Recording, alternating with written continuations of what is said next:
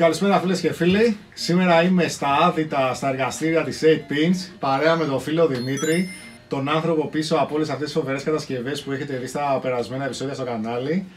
Και σήμερα εδώ, με τη βοήθεια του Δημήτρη, θα σας δείξουμε πώς μπορούμε να αναβαθμίσουμε ένα Master System 2. Δημήτρη, θυμάσαι τι γίνεται, έτσι; Ναι. Μπορούν να δουν από την ποιότητα της εικόνας ότι με την παλιά σύνδεση που ήταν μέσα απλή κεραία τη λεγόμενη RF, είχε αρκετά παράστα και αρκετά κακή ποιότητα εικόνας όπως βλέπετε τώρα. Ναι. Σήμερα θα δώσουμε βάση στο πώς μπορούμε να κλέψουμε σήμα που έχει ήδη το μηχάνημα και να το βγάλουμε σε ένα βίσμα RCA ώστε να γίνει καλύτερη σύνδεση.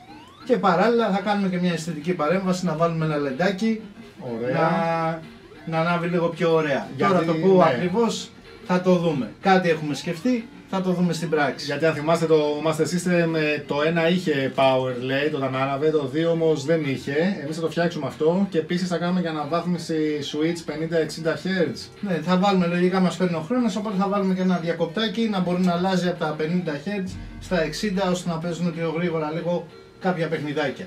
Σαν overclocking που λέμε και το έχετε δει αυτό το upgrade ήδη γενικά που παίζει πιο πολύ στα Mega Drive.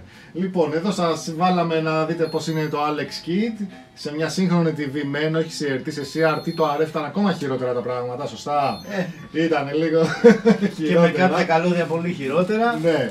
Οπότε πάμε, ε, αυτό είναι ένα do it yourself ε, με τη βοήθεια εδώ του Δημήτρη θα δούμε με τις κάμερες από κοντά όλα τα βήματα σιγά σιγά για να μπορέσετε να το κάνετε όσοι πιάνουν τα χέρια τους βέβαια έτσι. Ε, εντάξει, εμείς Στο πιστεύω σπίτι. θα προσπαθήσουμε να είμαστε όσο πιο αναλυτικοί δεν γίνεται.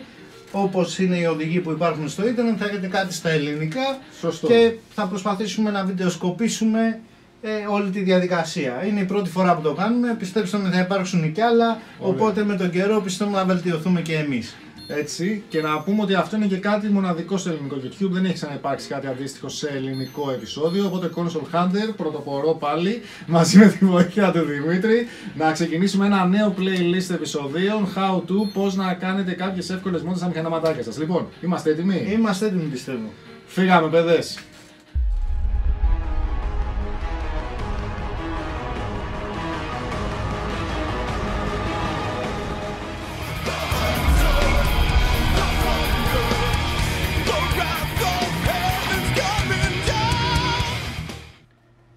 Λοιπόν, για χάρη συντομία θα παραλείψουμε μερικά γρήγορα βήματα.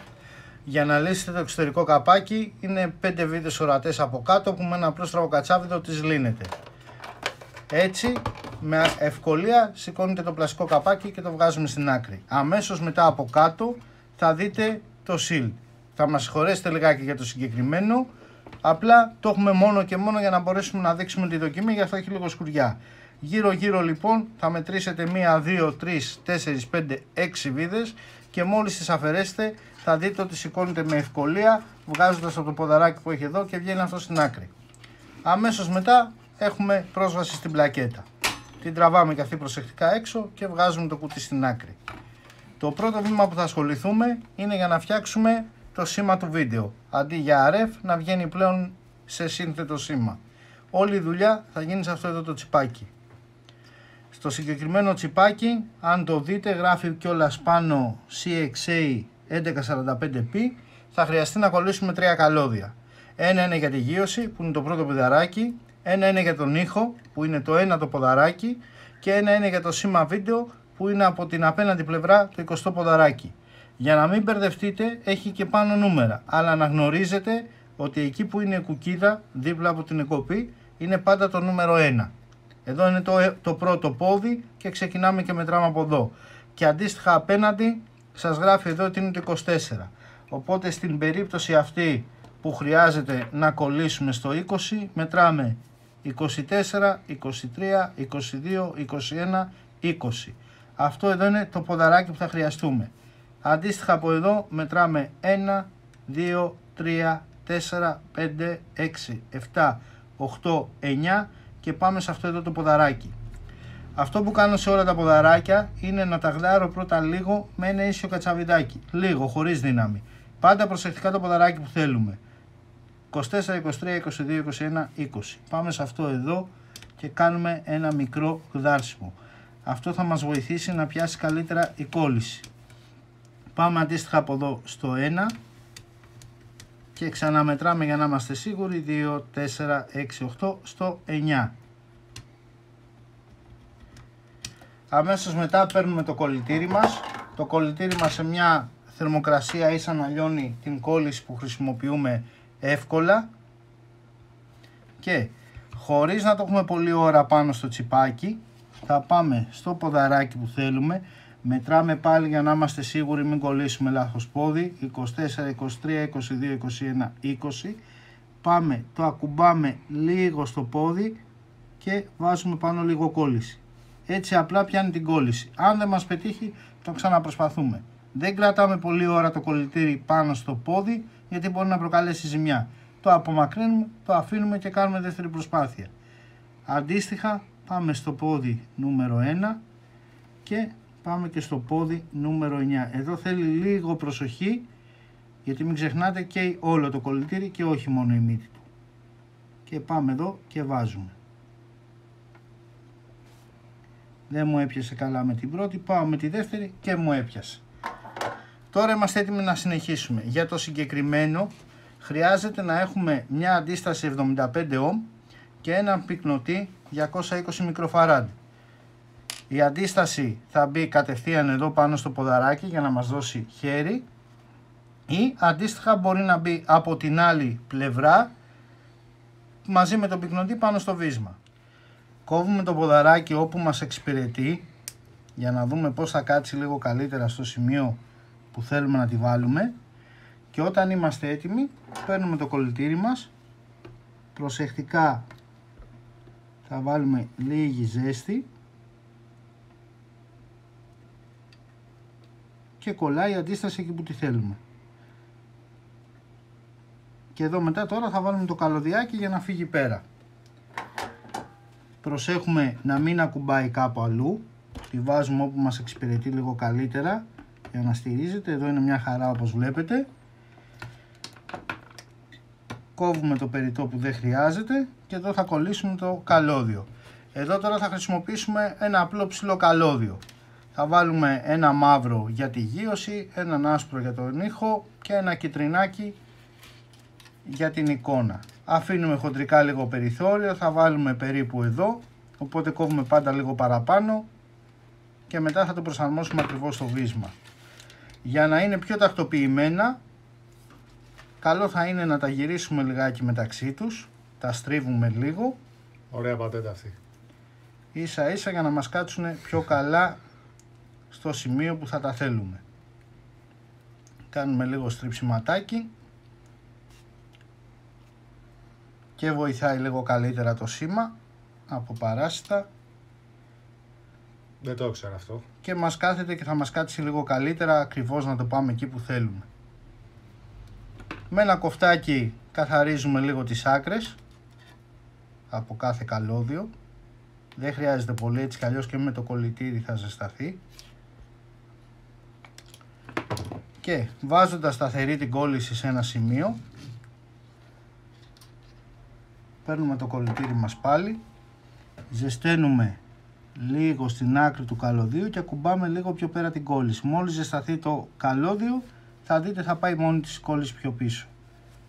Καλό θα είναι να κάνετε κάποιες δοκιμές αν θέλετε πρώτα σε κάποιες παλιές πλακέτες ή κάποια καλώδια να εξασχίσετε λιγάκι παραπάνω την κόλλησή σας. Αφού βεβαιωθούμε ότι έχουμε σωστά κόλληση σε όλα τα ποδαράκια, καθαρίζουμε λίγο το κολλητήρι μας και πάμε να τα κολλήσουμε. Όπως είπαμε το κίτρινο θα πάει στην αντίσταση. Πάμε στο σημείο που έχουμε την αντίσταση ζεσταίνουμε το καλώδιο και παράλληλα θα ζεσταθεί και η αντίσταση και θα κολλήσει. Στο ποδαράκι νούμερο 1 είπαμε, ελπίζω να το βλέπετε, θα πάει η υγείωση. Πάντα προσεκτικά είπαμε στα ποδαράκια, αν δεν μας πετύχει με την πρώτη απομακρύνουμε το καλώδιο και πάμε μετά και το ξαναβάζουμε.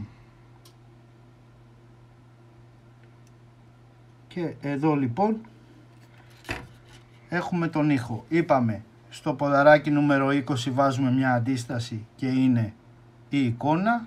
Στο ποδαράκι νούμερο 9 βγαίνει ο ήχος και στο ποδαράκι νούμερο 1 βγαίνει η γύρωση. Ο ήχος είναι μονοφωνικός αλλά θα δείτε μετά όταν βάλουμε τα δύο βίσματα στην πίσω πλευρά στο σασί μας πάνω θα ενώσουμε και τα δύο και θα παίζουν απλά και τα δύο μεγάφωνα της τηλεόρασής σας όταν το συνδέετε. Εδώ πέρα τώρα θα το ταιριάξετε λιγάκι προσεκτικά ωραία. Σκεφτείτε ότι από πάνω μπαίνει και η μεταλλική θωράκιση οπότε δεν θέλουμε να μας πειράξει. Αυτό είναι το πρώτο κομμάτι λοιπόν που χρειαζόμαστε. Θα είμαστε αμέσως κοντά σας με το σασί για να δείτε τι χρειάζεται για να κάνουμε τις τρύπες. Λοιπόν, όπως βλέπετε τώρα εδώ, κάνουμε ένα δοκιμαστικό πάτημα, δηλαδή έχουμε βάλει την πλακέτα στη θέση της, έχουμε βάλει από πάνω και τη θωράκιση για να δούμε πού βολεύει. Αν δείτε εδώ λοιπόν, έχει χώρο στο κενό μεταξύ του αρεφ και της θωράκισης να βγουν τα καλώδια μας ήσυχα. Ανάλογα το βίσμα που έχετε επιλέξει να βάλετε, εμείς βάζουμε τα συγκεκριμένα είναι και καλά πιο καλής ποιότητας. Βέβαια δεν έχουμε ε, αρκετό χώρο εδώ, αλλά γι' αυτό θέλω να προσέξετε να το δοκιμάσετε. Βάζοντας το πλέον τώρα εδώ, βλέπω ότι χωράει ακόμα και πιο εδώ να είναι, να μου κολλήσει το καλώδιο και μου έχει περιθώριο. Άρα για να είναι πιο ωραίο θα τα βάλω περίπου κοντά εδώ να είναι και τα τρία στη σειρά εδώ πίσω ώστε να μου βγούνε λιγάκι όμορφα εδώ. Αυτό που πρέπει να προσέξουμε είναι τώρα που θα σημαδέψουμε για το που θα τρυπήσουμε μην πάμε πολύ κάτω γιατί θα βρει πάνω στη θωράξη από ναι, εδώ. Σωστός. Οπότε πρέπει να υπολογίσουμε να πάει περίπου σε αυτό το σημείο. Αυτό που κάνουμε στην προκειμένη περίπτωση που βοηθάει είναι να βάλουμε πρώτα ένα κομμάτι χαρτοτενίας, το κολλάμε από την πίσω πλευρά, μισό λεπτάκι θα σας δείξω, υπολογίζουμε περίπου λοιπόν που το θέλουμε να πάει, το θέλουμε είπαμε λίγο ψηλά, βάζουμε ένα κομματάκι εδώ. Και εδώ λοιπόν τώρα θα δούμε ανάλογα πώς πάνε τα βίσματά μας, τα βλέπουμε στο περίπου, πόσο κοντά θέλουμε να είναι, θέλουμε να είναι περίπου εκεί. Οπότε τώρα απλά με ένα μολυβάκι θα σημαδέψουμε το πρώτο το ότι το θέλουμε περίπου εδώ ας πούμε θα το δούμε τώρα. Μάλλον θα πάμε καλύτερα στην από εδώ άκρη να δούμε που είναι η ευθεία. Οπότε σημαδεύουμε είπαμε να είναι λίγο πάνω προσέχουμε εδώ. Σημαδεύουμε το κέντρο του και που θα είναι. Και αυτή την ευθεία τώρα τη φέρνουμε σε όλη την πλευρά. Οπότε σε αυτή την ευθεία θα είναι τα βίσματά μας σημαδεύουμε το κέντρο που θέλουμε αυτού οπότε θα τρυπήσουμε εδώ και αφού δούμε αυτό που είναι υπολογίσουμε το άλλο λίγο πιο δίπλα οπότε βγαίνει περίπου εδώ.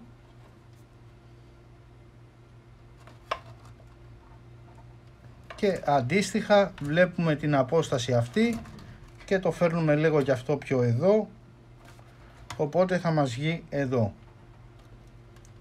εδώ λοιπόν πλέον έχουμε το κέντρο που πρέπει να κάνουμε την κάθε τρύπα για να δούμε τι τρύπα χρειαζόμαστε βλέπουμε ανάλογα με το βίσμα αυτό αυτό είναι το κομμάτι που θα περάσει πρώτα το καλύτερο λοιπόν αν έχετε τα κατάλληλα εργαλεία είναι να έχετε έναν τέτοιο πλαστικό κόνο όπως βλέπετε για να τρυπάει τα πλαστικά. Αυτός αυτό που έχει, έχει διαβαθμίσεις. Δηλαδή ξεκινάει από μικρή τρύπα και όσο το προχωράμε μέσα στην τρύπα μεγαλώνει. Αυτό που θα κάνουμε τώρα θα σας δείξουμε με αυτόν τον τρόπο πώς μπορεί να γίνει η τρύπα. Σε περίπτωση που δεν έχετε τα εργαλεία, με λίγο υπομονή, αυτό που μπορείτε να κάνετε από τη στιγμή που έχουμε κιόλας κολλητήρι, είναι ξεκινάμε με το κολλητήρι, θα είναι λίγο έντονη βέβαια η μυρωδιά, και τρυπάμε εδώ. Λίγο λίγο λιώνει το πλαστικό, προσέχουμε, το μεγαλώνουμε, προσέχουμε, το μεγαλώνουμε και μετά είτε με μία λίμα είτε με ένα κοπεδάκι ανοίγουμε λίγο λίγο την τρύπα μέχρι να δούμε να περάσει μέσα. Εμείς τώρα που έχουμε το συγκεκριμένο εργαλείο θα προσπαθήσουμε να κάνουμε τρύπα μπροστά σας χωρίς να ρίξουμε την κάμερα και τα υπόλοιπα. Ξεκινάμε σιγά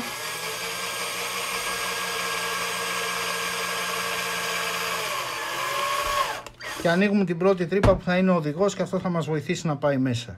Και αντίστοιχα τώρα συνεχίζουμε. Το πάμε σιγά σιγά γιατί το πλαστικό ανεβάζει θερμοκρασίες και δεν θέλουμε να μας κολλήσει να κάνει κάποιο σημάδι. Και συνεχίζουμε. Σταματάμε ενδιάμεσα που είμαστε κοντά και βλέπουμε. Και αυτή λοιπόν η τρύπα είναι αυτή που μας κάνει. Πόμπα. και βλέπετε τώρα έχει την τέλεια εφαρμογή. Precision από 8 pins, παιδιά. Όπως βλέπετε γι' αυτό βοηθάει γιατί ξεκινάμε με λίγο και έρχεται μέχρι κάτω. Πάμε στο δίπλα κέντρο και κάνουμε το ίδιο.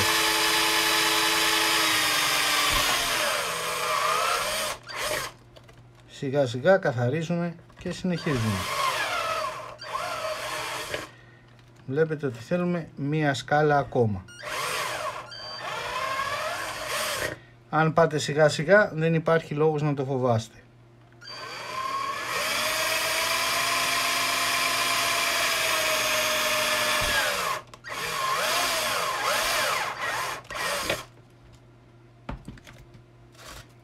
Για τους παντρεμένους βλέπετε ότι αυτές οι δουλειές είναι δύσκολο να γίνονται σπίτι. Με λίγο προσοχή σε κάποιο δωμάτιο να μην μας πάρουν πολύ χαμπάρι. Εδώ πέρα τώρα θα δείτε ότι σφινωτά θα πάνε και θα μπουν όλα τα βυσματάκια μας και στο τέλος θα έχουμε ένα ωραίο αποτέλεσμα. Πολύ ωραίο, όντως. Και οπτικά θα είναι ωραίο. Και έτσι μας βοήθησε η χαρτοτενία να κάνουμε τα σημάδια. Το ίδιο όπως σας είπα μπορείτε να κάνετε με ένα κολλητηράκι και ένα κοπιδάκι. Θα μας δώσετε δύο λεπτάκια τώρα να καθαρίσουμε λίγο εδώ. Α, μάλλον ναι, θα καθαρίσουμε γιατί πρέπει να κάνουμε και μία ακόμα τρυπούλα. Ο Νίκος ζήτησε να το κάνουμε και το άλλο mood μαζί για να μπορείτε να το δείτε. Οπότε πρέπει να κάνουμε μια επιπλέον τρύπα για να βάλουμε αυτό εδώ το μικρό διακοπτάκι που από τη μία θα μας δουλεύει στα 50 Hz, από την άλλη θα μας δουλεύει στα 60. Όπως βλέπετε έχουμε προμηθευτεί ένα κουμπάκι το οποίο διακοπτάκι αυτό, να το λέμε σωστά, λέγεται on-on, σημαίνει ότι είναι πάντα on. Δηλαδή, κύκλωμα. ε. ναι, και στη μία θέση είναι on, ενώνει το ένα με το άλλο Ναι. και στην άλλη θέση είναι on. Α- αντίστοιχα την απέναντι πλευρά. Και αυτό θα μας βοηθήσει. Αυτό λοιπόν πρέπει να το βάλουμε και αυτό κάπου εδώ πίσω. Τι λες Νίκο, να το βάλουμε πίσω εδώ στην άκρη ή να το βάλουμε εδώ στο πλάι; Ε, όλα πίσω. Όλα πίσω να μην φαίνεται κάπου. Οπότε θα πάμε εδώ και ας είναι λίγο οβάλ. Ναι.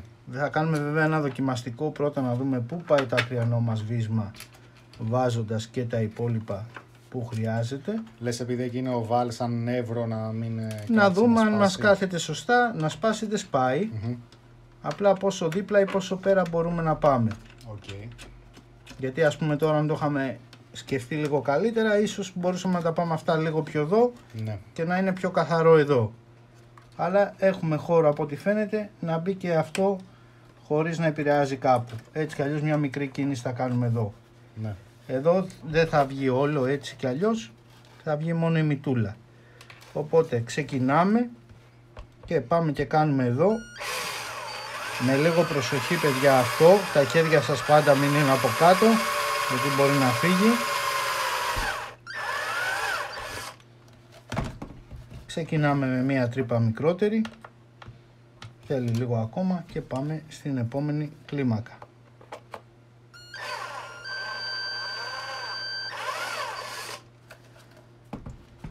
όπου εδώ θα μπορεί να μπει όμορφα και ο διακόπτης μας. Όπως βλέπετε θα βγει εδώ και θα είμαστε μια χαρά. Καθαρίζουμε και σύντομα κοντά σας. Λοιπόν, όπως βλέπετε τώρα εδώ κάνουμε πάλι μια δοκιμή. Έχουμε επιδώσει κανονικά τα τρία βίσματα που χρειαζόμαστε. Έχουμε επιδώσει κανονικά το διακοπτάκι πίσω στη γωνία και βλέπετε ότι η πλακέτα μας δεν εμποδίζει κάπου. Αυτό που θα κάνουμε τώρα είναι θα ετοιμάσουμε το δεύτερο κομμάτι στην πλακέτα για να έχουμε έτοιμα τα καλώδια ώστε να συνδέσουμε κατευθείαν και το διακοπτάκι, να μην χρειαστεί μετά να το ξαναβγάζουμε και το μόνο που μένει είναι να καλώ- κολλήσουμε τα καλωδιάκια εδώ. Αυτό λοιπόν που θα κάνουμε τώρα, βγάζουμε πάλι προσεκτικά τα κομμάτια, βγάζουμε όλο το σασί μαζί με τη θωράξη και αφαιρούμε την πλακέτα. Τώρα λοιπόν θα δουλέψουμε στο δεύτερο κομμάτι που αφορά την αλλαγή που κάνουμε από το ευρωπαϊκό σύστημα το PAL στο αμερικάνικο που η διαφορά είναι στη συχνότητα.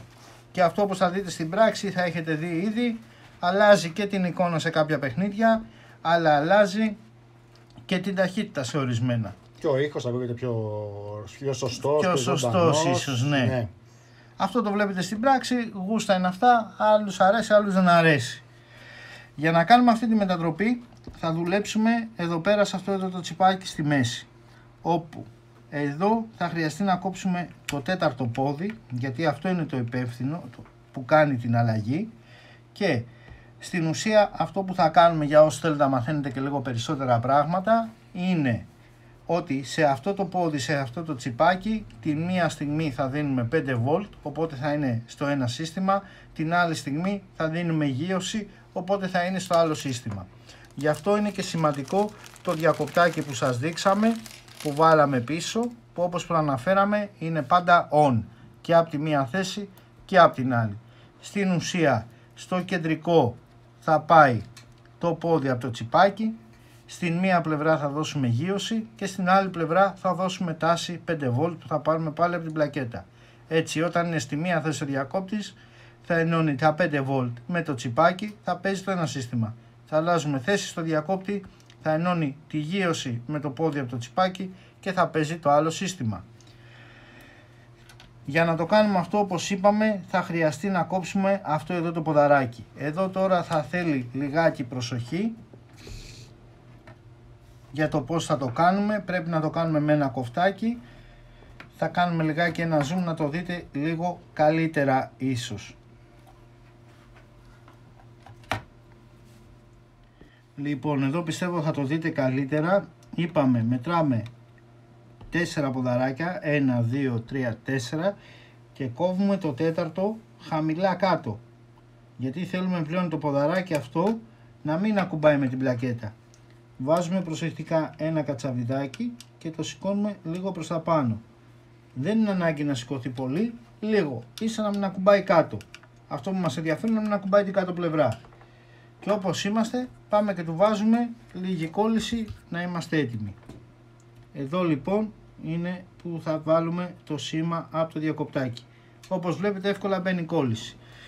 Για το διακοπτάκι όπως είπαμε θα χρειαστούμε γύρωση και τάση. Γύρωση μπορούμε να πάρουμε από αυτόν εδώ τον πυκνοτή που είναι δίπλα. Αν δείτε εδώ στο πλάι έχει το σημαδάκι ότι αυτό είναι το πλήν. Οπότε για να έχουμε όλα τα καλωδιάκια μαζί μαζεμένα μπορούμε να πάρουμε κατευθείαν από εδώ. Ετοιμάζουμε λοιπόν το σημείο βάζοντας ήδη λίγη κόλληση. Και από αυτό εδώ το κομμάτι έχει την τάση που χρειαζόμαστε. Εδώ λοιπόν έχει ένα κενό σημείο που βοηθάει να κολλήσουμε εύκολα το καλώδιό μας. Το ζεσταίνουμε και του βάζουμε αντίστοιχα λίγο κόλληση. Όπως βλέπετε δεν μπορεί να πιάσει κόλληση αυτή τη στιγμή. Δεν το ζορίζουμε, το αφήνουμε, παίρνουμε ένα κατσαβιδάκι και πάμε σιγά σιγά και το καθαρίζουμε. Και λίγο μετά βάζουμε λίγο παραπάνω δύναμη ώστε αυτό εδώ πέρα να γδαρθεί να μπορέσει να πιάσει κόλληση. Πάντα προσεκτικά, καλύτερα να κάνετε λίγη ώρα παραπάνω παρά να κάνετε κάποια ζημιά στην πλακέτα. Αν δείτε ότι δεν το καταφέρνετε μπορείτε να κολλήσετε σε ένα από αυτά εδώ τα σημεία. Αλλά με λίγο τριψιματάκι είτε με ένα κατσαβιδάκι είτε με ένα κοπιδάκι λίγο άμα καθαρίσει εδώ η επίστρωση που έχει από πάνω η πλακέτα θα πιάσει καλά η κόλλησή μας. Προσεκτικά λοιπόν το γδέρνουμε και το καθαρίζουμε. Ας κάνουμε μια προσπάθεια τώρα να δούμε τι κάναμε. Λίγο παραπάνω ζέστη λοιπόν, λίγο κόλληση.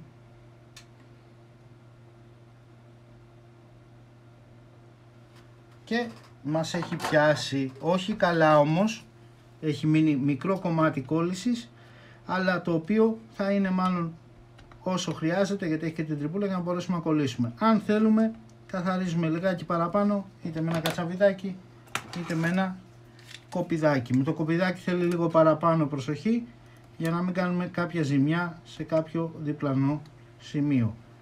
Λίγο απλά το δέρνουμε, όπως βλέπετε δεν ξέρω αν φαίνεται στην κάμερα, έχει πιάσει ήδη κόλληση σε αυτό το σημείο. Φαίνεται, φαίνεται. Οπότε θα μας κολλήσει κανονικά. Όπως και για το άλλο διακοπτάκι και εδώ λοιπόν θα χρειαστούμε τρία καλώδια. Οπότε θα πάρουμε πάλι για να μην μπερδευόμαστε κόκκινο, μαύρο, το κόκκινο για το ρεύμα, μαύρο για τη γύρωση και ας πάρουμε λευκό για να βάλουμε. Μάλλον επειδή έχουμε χρησιμοποιήσει ήδη λευκό και έχουμε πράσινο θα βάλουμε πράσινο για το διακοπτάκι για να ξεχωρίζουν εύκολα. Πάλι ξεκινάμε και βλέπουμε πού περίπου θέλουμε να πάμε. Θέλουμε να πάμε εδώ, μέχρι εδώ. Τα κόβουμε και λίγο παραπάνω για να είμαστε σίγουροι ότι θα φτάσουμε. Με τον ίδιο τρόπο ξεκινάμε, τυλίγουμε λίγο από τη μία, τυλίγουμε λίγο από την άλλη, μέχρι να τα κάνουμε μια ωραία πλεξουδίτσα να μας πάνε όπως εξυπηρετεί. Λογικά αυτά θα τα βγάλουμε από την από πλευρά και θα πάνε πίσω στο διακόπτη. Ξεκινάμε λοιπόν και καθαρίζουμε πάλι με τον ίδιο τρόπο τα καλωδιάκια. Λίγο τις άκρες ίσα να μπορέσουμε να βάλουμε λίγη κόλληση. Γυρνάμε την κόλλησή μας, κατά προτίμηση όχι πάνω από την πλακέτα όπως είπαμε και πριν. Ζεσταίνουμε λίγο το καλώδιο και θα πάει αμέσως, θα τρέξει η κόλληση πάνω. Αντίστοιχα πάμε στο επόμενο.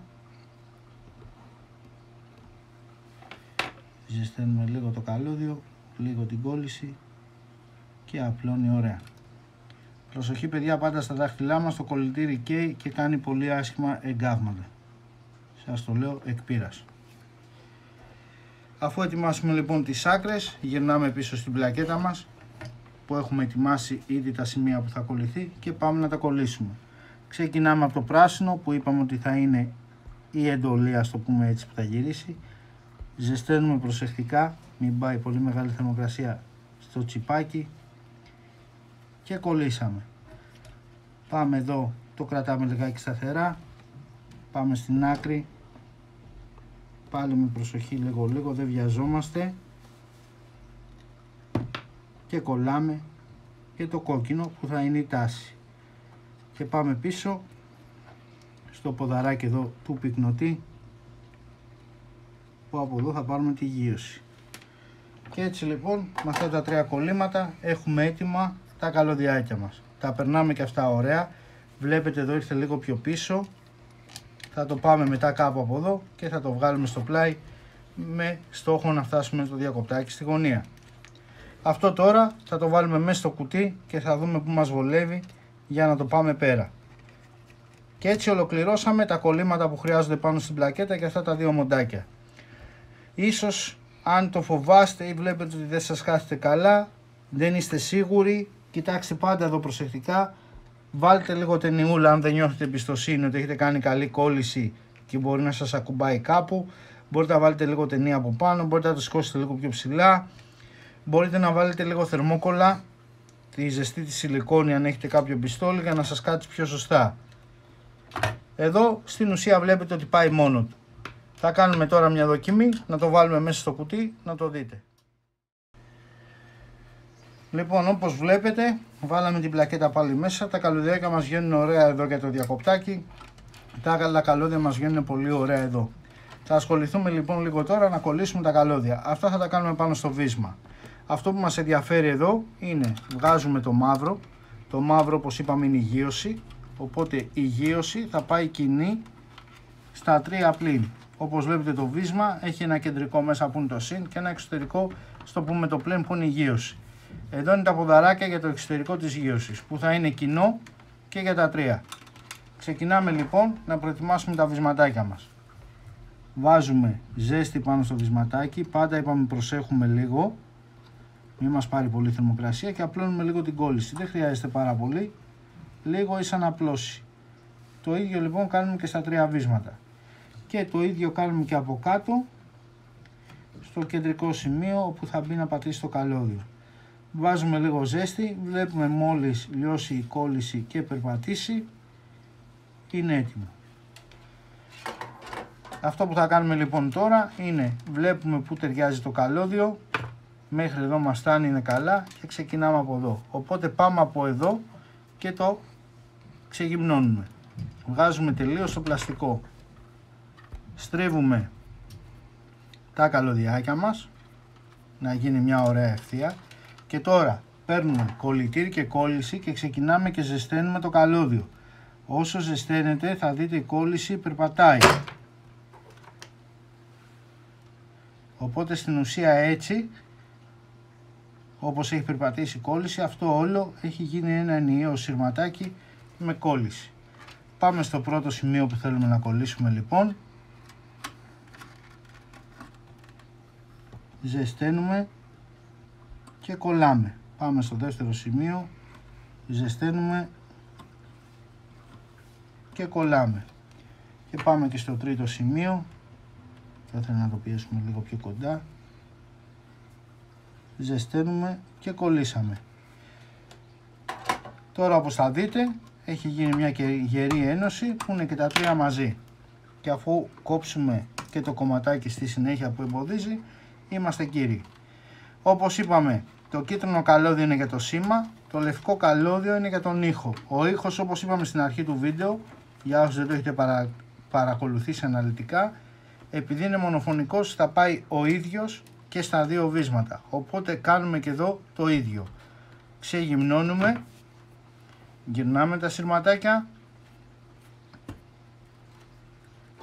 και πάμε και κολλάμε. Ζεσταίνουμε το καλώδιο και λίγο λίγο θα δείτε προχωράει η κόλληση. Κατεβάζουμε και λίγο το κολλητήρι και προχωράει και πάει παντού. Έτσι πάμε εδώ. Πρώτα στο μεσαίο. Ζεσταίνουμε όσο του κολλήσει. Στο ακριανό ζεσταίνουμε όσο του κολλήσει. Αν δουλέψετε λίγο με το κολλητήρι σας, βλέπετε θα γίνει εύκολο. Δεν είναι κάτι δύσκολο παιδιά, γι' αυτό το δείχνουμε. Είναι πολύ απλό, μπορεί να το κάνει ο καθένας σας. Όπως είδατε εδώ τώρα ας πούμε δεν πέτυχε η κόλληση. Ήταν ίσα ίσα και με το κόψιμο έκοψα και την κόλληση. Ξαναζεσταίνω ώστε να γίνει πιο συμπαγής. Περιμένω να κρυώσει και δοκιμάζω.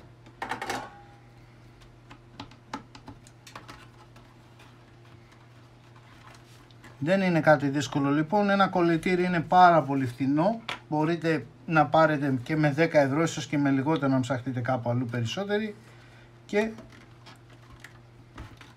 να μπορέσετε να κάνετε κολλήσεις. Μπορείτε με κάποια παλιά πλακέτα να κάνετε δοκιμή, με καλώδια, δεν είναι κάτι δύσκολο, εξοικείωση θέλει και πάντα προσοχή γιατί μπορεί να καούμε. Ναι. Λοιπόν, όπως είπαμε στην αρχή, το κίτρινο καλωδιάκι είναι το σήμα βίντεο. Έχουμε ξεκινήσει με μία αντίσταση 75 ohm που έχουμε βάλει στο ποδαράκι και πρέπει στη γραμμή αυτή να προσθέσουμε έναν πυκνοτή. Για την ευκολία μας θα βάλουμε το πυκνοτή στο τέλος και θα κολλήσουμε πάνω το, το καλωδιάκι. Θυμηθείτε για όσους έχετε βάλει στο ίδιο σημείο το βίσμα ότι εδώ έρχεται η θωράκιση οπότε πρέπει να πάμε να είμαστε λίγο πιο μέσα μαζεμένοι. Το πλήν είναι που συνδέεται πάνω στο ποδαράκι, στο συν πάει το καλωδιάκι. Για όσους δεν έχετε ασχοληθεί με πυκνοτές, για να ξεχωρίσετε το πλήν έχει πάντα μια μαύρη γραμμή. Στην πλευρά που είναι η μαύρη γραμμή εδώ πέρα ή αν δείχνει παυλίτσες, παυλίτσες, παυλίτσες είναι πάντα το πλήν. Άρα λοιπόν το κρατάμε προσεκτικά στο σημείο που θέλουμε να πάει. Εμείς όπως είπαμε το βάζουμε μέσα εδώ γιατί θα πάει η θωράκιση. Ζεσταίνουμε με το κολλητήρι μας και κολλάει. Άπαξε κολλήσει θα δείτε ότι θα κάθεται μια χαρά στο σημείο που μας εξυπηρετεί. Από τη δίπλα πλευρά τώρα βλέπουμε που θέλουμε το καλωδιάκι μας. Πάμε το κόβουμε, το ξεγυμνώνουμε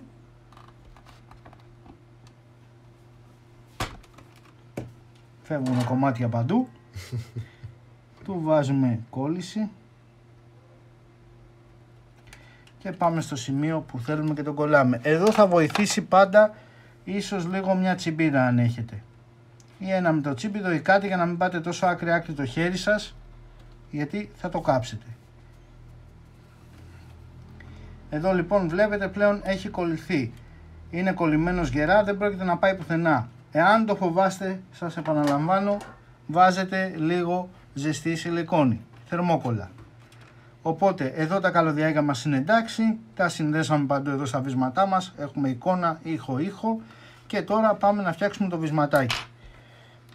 Θα γυρίσουμε λιγάκι το βυσματάκι για να μας δώσει χώρο, να μπορέσουμε να κολλήσουμε κατευθείαν πάνω εδώ και πάμε και σε αυτό να του βάλουμε κόλληση.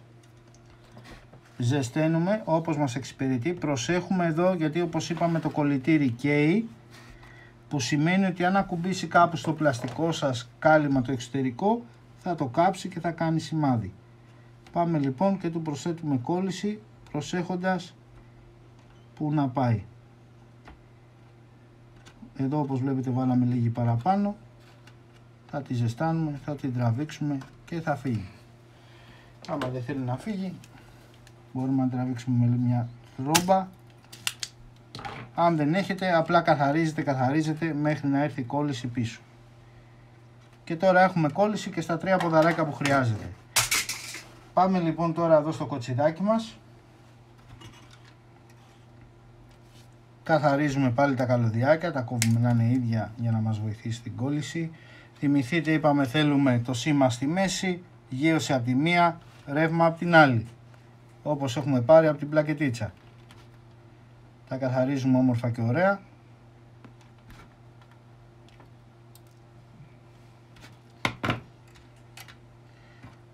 Πάμε όπως είπαμε κατά προτίμηση πάντα λίγο πιο μακριά από την πλακέτα και βάζουμε κόλληση στα καλώδια μας. Το ζεσταίνουμε λίγο και απλώνει παντού. Νομίζω ότι το είδατε αρκετά θα το έχετε πεδώσει πλέον.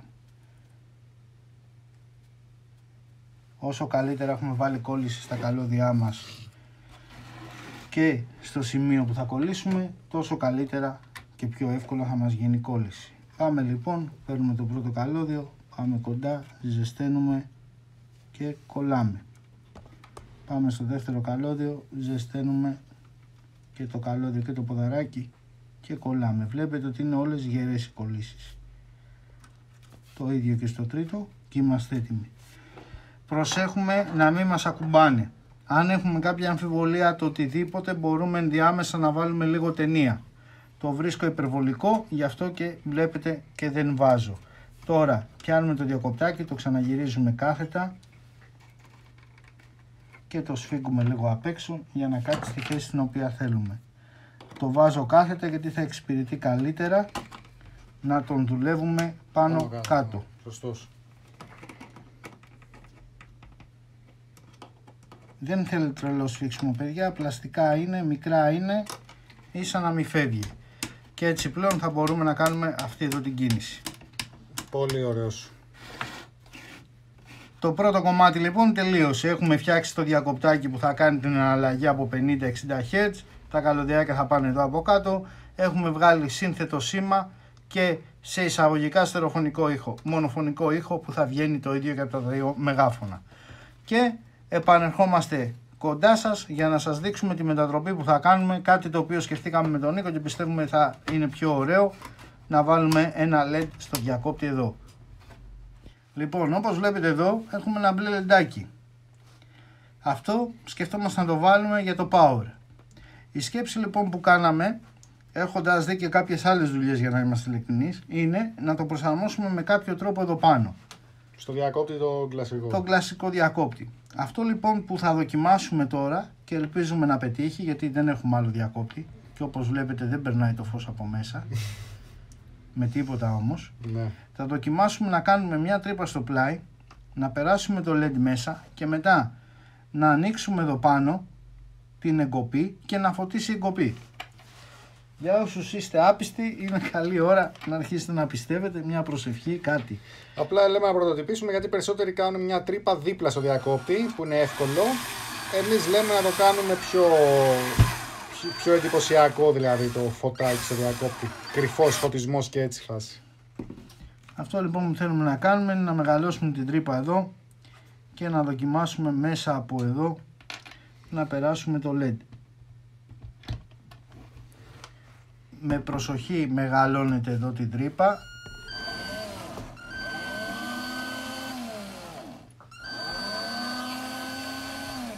γιατί θέλουμε να διαπεράσει απέναντι για να μπορούμε να στρίψουμε το LED.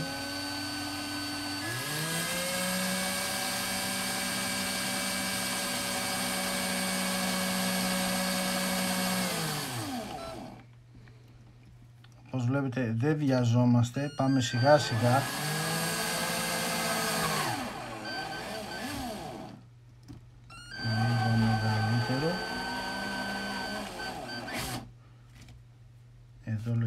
πρέπει να είμαστε εντάξει και να χωράει να περάσει το LED Όντως χωράει οπότε πάμε στη δεύτερη φάση του κινήματος.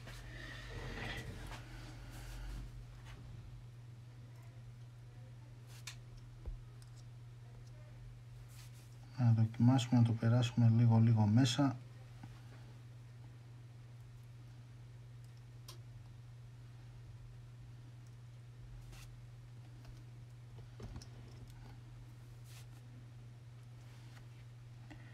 Αυτά είναι κάποια που δεν έχουμε κάποιο στον τρόπο να σας πούμε τι να κάνετε και πώς. Όπως βλέπετε και εμείς το πάμε ψάχνοντας. Φαίνεται να περνάει μέσα το LED και να μπορεί να στρίψει προς τα πάνω.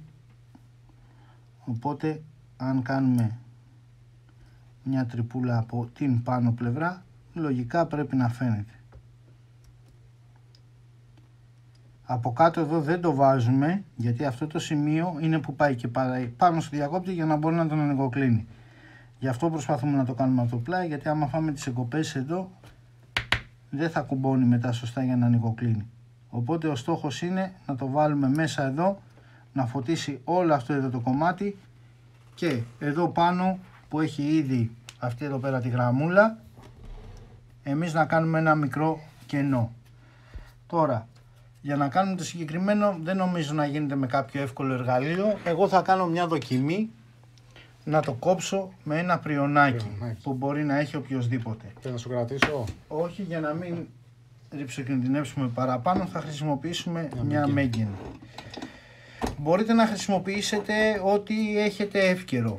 Το καλύτερο όπως είδατε ένα φύλλο απλά να το κρατάει αλλά να είναι σταθερό το χέρι του και η αναπνοή του. Αυτό λοιπόν που θα δοκιμάσουμε να κάνουμε είναι σε αυτό εδώ το σημείο να σας το δείξω με ένα κατσαβιτάκι που έχει αυτή εδώ την εγκοπή εμείς να πάμε και να το κάνουμε στην ουσία μία τρύπα. Ξεκινάμε από τη μία πλευρά και κόβουμε σιγά σιγά με το πριονάκι. Πάμε και λίγο πιο δεξιά και κόβουμε πάλι. Ο στόχος μας είναι στην ουσία να έχει μείνει μια μικρή τρύπα στη μέση.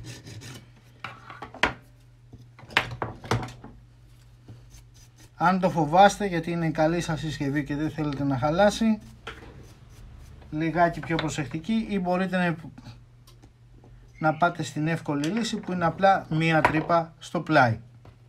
Ναι.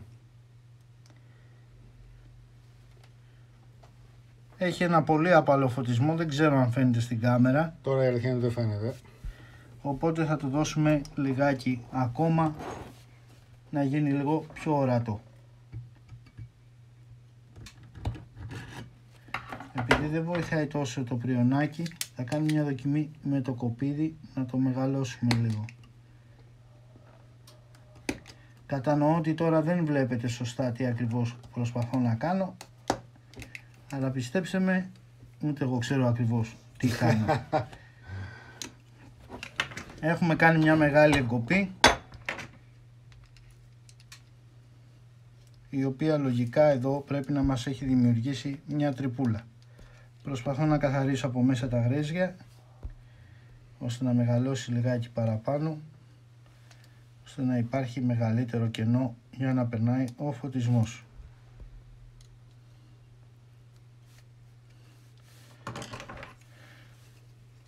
Πάντα προσοχή τα δάχτυλά σας και τα χέρια σας. Νομίζω ότι έχω μεγαλύτερη τρύπα πλέον, ώρα να το δοκιμάσω.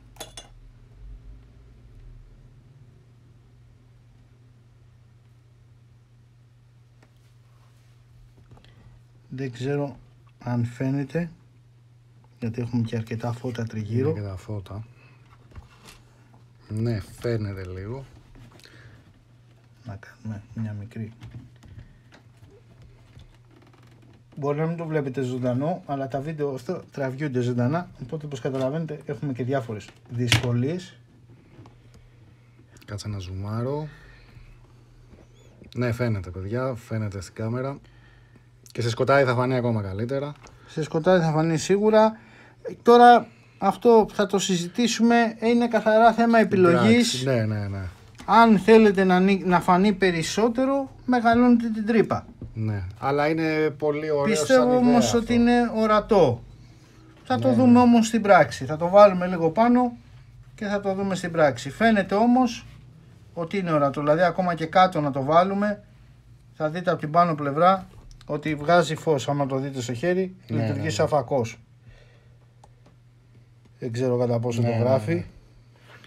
Οπότε είναι ορατό. Πάμε λιγάκι να το μοντάρουμε. Βάλουμε πάλι το φως να μπορείτε να βλέπετε καλύτερα.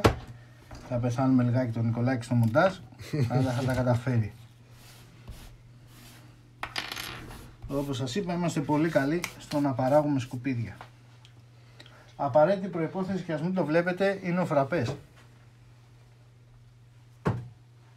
Μια τζουρίτσα πάντα βοηθάει. Έτσι. Μη φοβηθείτε αν μπερδέψετε τα ποδαράκια του LED, γιατί το LED δεν καίγεται, οπότε και ανάποδα να το βάλετε, απλά δεν θα ανάψει. Θα πάμε λοιπόν μετά, θα το αλλάξουμε και θα ανάψει. Το συγκεκριμένο LED έχουμε πάρει 3 χιλιοστά για να μπορεί να χωράει πιο άνετα εδώ μέσα.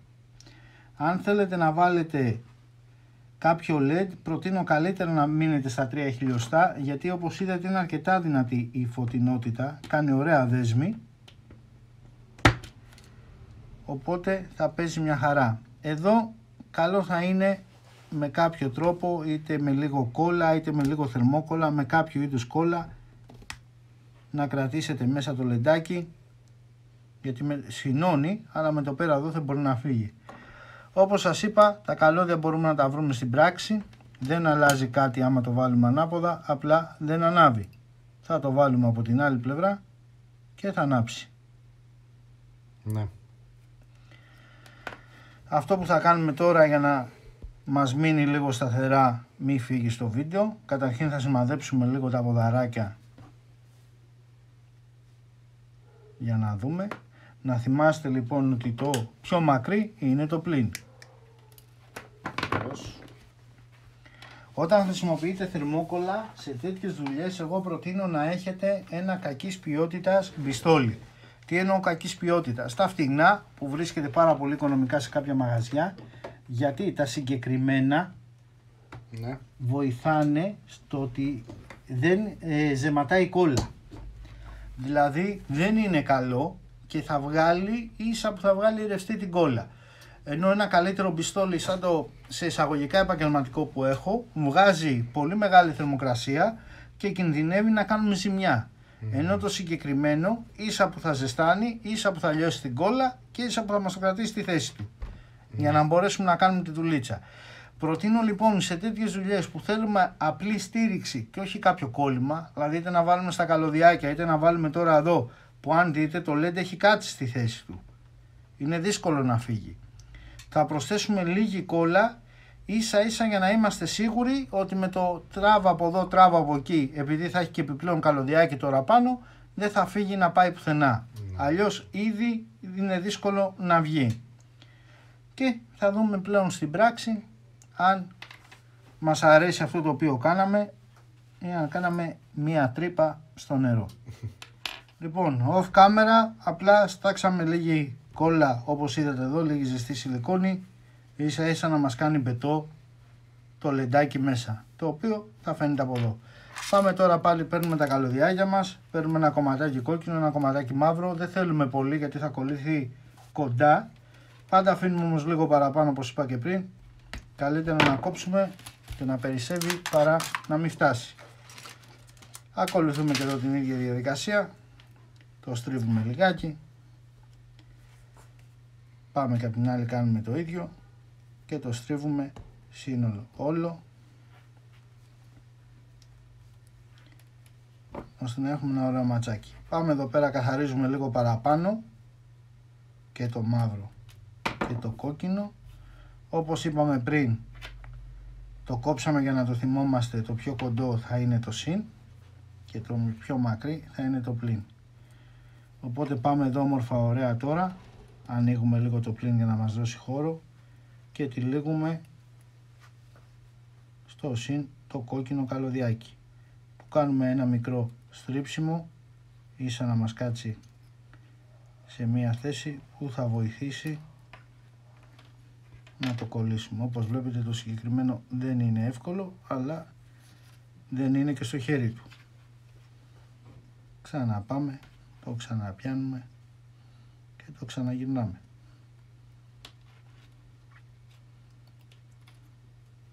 μόλις κάτσει σε ένα σημείο που μπορεί να καθίσει μόνο του παίρνουμε το κολυτήρι μας παίρνουμε και την κόλληση.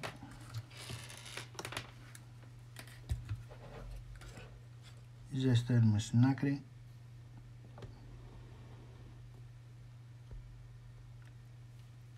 Και γίνεται μπετό. Πάμε και εδώ λιγάκι τα σειρματάκια στην άκρη τα τριμώνουμε στην κόλληση να είναι λίγο πιο ωραίο και πάμε να κάνουμε το ίδιο και για το πλήν.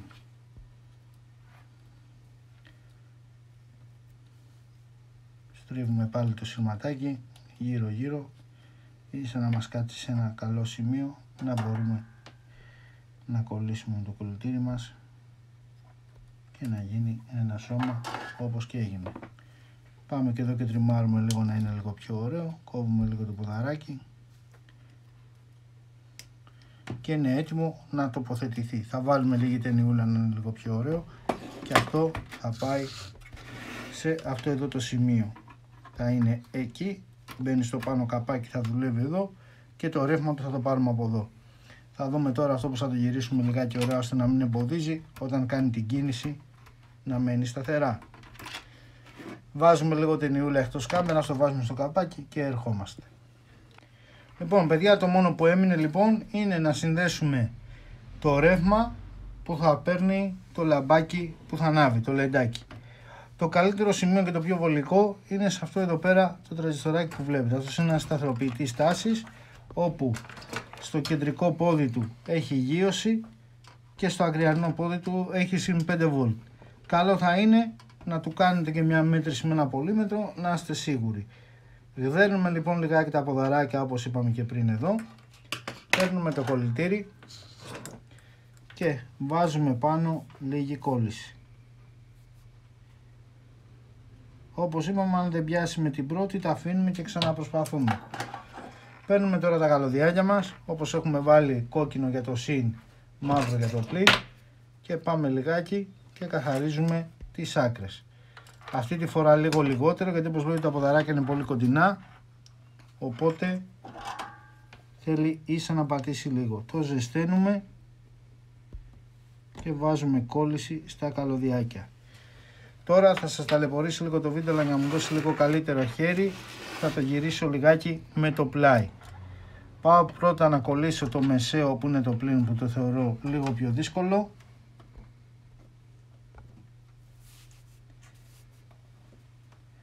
όπως βλέπετε μου έφυγε η κόλληση από το ποδαράκι. Το προσέχετε αυτό. Πάμε. Γδέρνουμε λιγάκι παραπάνω ώστε να έχει να δαγκώσει καλύτερα η κόλληση. Μην ξεχνάτε ότι έχετε να κάνετε με ανταλλακτικά που είναι πολλών ετών. Ίσως μεγαλύτερα και από κάποιους που μας βλέπετε αυτή τη στιγμή. Ισχύει. Πάντα προσεκτικά σιγά σιγά βλέπετε πάλι δεν έπιασε.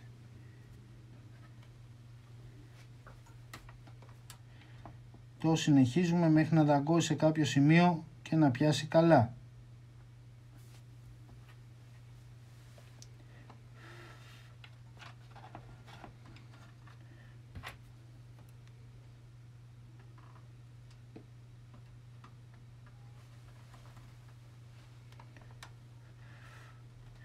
Έχουμε κολλήσει λοιπόν τα καλωδιάκια μας. Πάμε να βάλουμε τις βίδες γύρω γύρω και γυρνάμε πλέον για τη δοκιμή. Λοιπόν παιδιά και τώρα κοιτάξτε το LED στο σκοτάδι πως φαίνεται. Πολύ όμορφο, πολύ ωραία η επιλογή του Δημήτρη να το κάνουμε ενσωματωμένο στο διακόπτη από το να έμπαινε π.χ. στα πλάγια. Πολύ όμορφο. Και τώρα εδώ βλέπουμε το καλώδιο το RCA στην τηλεορασούλα μας πίσω. Και εδώ τώρα η διαφορά είναι εμφανής παιδιά. Ε, πριν δεν ήταν έτσι το θυμάστε είχε χιόνια από το RF και δώστε βάση τώρα στο πιο καλό upgrade τώρα το επόμενο πέρα από την εικόνα το 5060 λοιπόν ε, ακούτε και κοιτάξτε πως πηγαίνει. Και κοιτάξτε τώρα.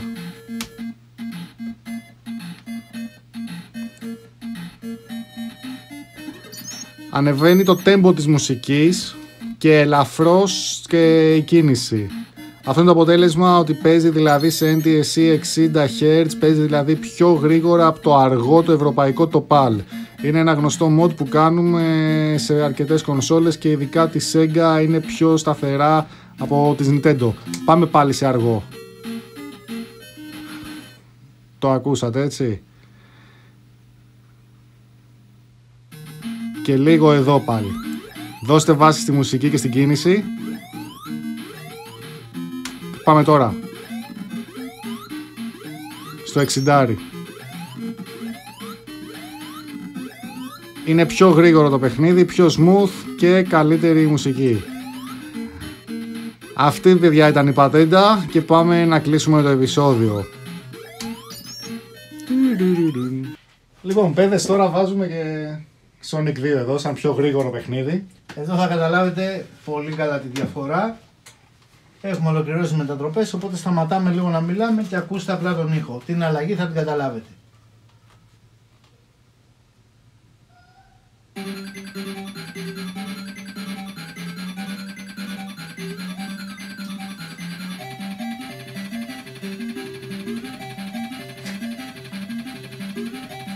Τούρμπισε. Τούρμπισε παιδιά ο Sonic. Ξαναγίνατο σε 50 να το ξεκινήσω σε gameplay και λίγο. Πάμε πίσω στο 50. Αυτό θα δείτε τη μεγάλη διαφορά. Θα τη δείτε εδώ γιατί είναι η ποιότητα της οθόνης. Είναι δοκιμαστική. Θα τη δείτε άμα ασχοληθεί ο Νίκος και σας κάνει ένα βιντεάκι με τη CRT του. Ακούτε τώρα πως είναι στα 50 Hz, βλέπετε και την κίνηση και τον ήχο.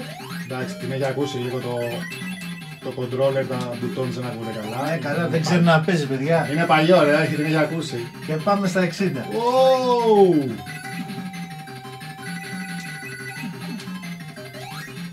Ναι, παιδιά, τούρμπισε. Εντάξει, το μπουτόν, το controller δεν δουλεύει, είναι αλήθεια. Έχει χαλάσει λίγο. Όχι, αλήθεια, δεν πατιέται καλά. Θα μάθει, παιδιά, μικρό είναι. Δεν κάνω πλάκα.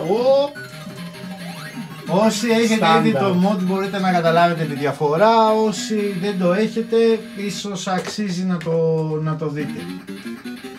Λοιπόν, παιδιά, αυτό ήταν ε, πολύ ωραίο το όλο το σκηνικό. Ο Δημήτρης εδώ μας έδειξε αυτό το upgrade pack. Έγινε δεύτερο στάδιο το Master System, και κεντροφόρους πρόγραμμα. Αρκεί να μην σπάσει. ναι, ε, είναι σίγουρα πολύ μεγάλη διαφορά από τι ήταν πριν. Μ' αρέσει πάρα πολύ αυτό που κάναμε στο διακόπτη. Η ιδέα του Δημήτρη να γίνει ενσωματωμένο το λεντάκι. Τα άρσε από πίσω για καλύτερη αναβάθμιση της εικόνας και ο ήχος να μοιραστεί στερεοφωνικά και φυσικά το 50-60 Hz ε, switch mode. Στερεοφωνικά δεν είναι για να είμαστε ακριβείς, απλά παίζουν και τα δύο μεγάφωνα. Δεν βγάζει μονοφωνικό, ναι, γίνεται ένα γεφύρωμα και παίζουν και τα δύο. Ναι. Είναι τα project που μας αρέσουν να κάνουμε, έτσι, έτσι γιατί αξίζουν και για το χαβαλί κυρίως. Ελπίζω να μην σας κουράσαμε, να πήρατε κάποια ιδέα. Για απορίες εδώ είμαστε, για ό,τι χρειαστείτε πάλι εδώ θα είμαστε. Εννοείται. Αν σας άρεσε το επεισόδιο, μην ξεχάσετε να κάνετε like. Αν έχετε πρώτη φορά στο κανάλι, μην ξεχάσετε να κάνετε subscribe. Επίσης, το κουδουνάκι στο πλάι. Το κουδουνάκι. Επίσης, μην ξεχάσετε να κάνετε και like στη σελίδα του Δημήτρη την 8 Pin στο Facebook. Και επίσης να την κάνετε και follow αν γουστάρετε στο Instagram. Γιατί εκεί ο Δημήτρης ανεβάζει σχεδόν καθημερινά εικόνες από τα πολύ ωραία project του. Τα οποία ήδη ξέρετε, Game Boy Custom. Τώρα βγαίνει το Game Gear το Custom. Καμπίνες που κάνει, μοντάκια. Και γενικά αν σας άρεσε αυτό το επεισόδιο ε, πείτε μας τι άλλο θα θέλατε να δείτε. Έχουμε κάποια πράγματα ακόμα στο μυαλό για άλλες μόντες για κονσόλες. Αν σας αρέσουν δείξτε μας τα σχολιάγια σας να συνεχίσουμε.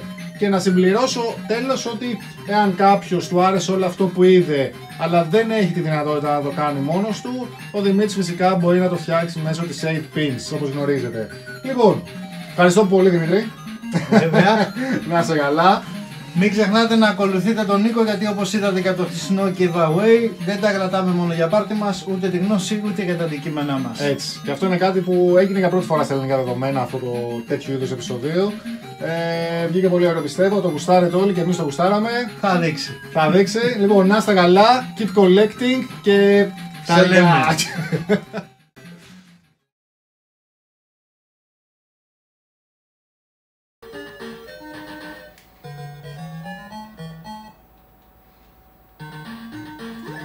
Alex Kids, ε, AV Modded Master System 2 αυτή τη στιγμή τρέχει σε 60 Hz με διακοπτάκι και έχει γίνει και ένα visual upgrade στο μηχάνημα Ναι, οκ. Και γενικά πολύ μπόμπα η φάση. Σε CRT οθόνη ειδικά ε, το αποτέλεσμα είναι απίστευτο. Είχα πάρα πολλά χρόνια να παίξω Alex Kidd και τώρα με αυτή την ποιότητα με τη μόντα είμαι πάρα πολύ χαρούμενος που παίζω πάλι κάτι τέτοιο.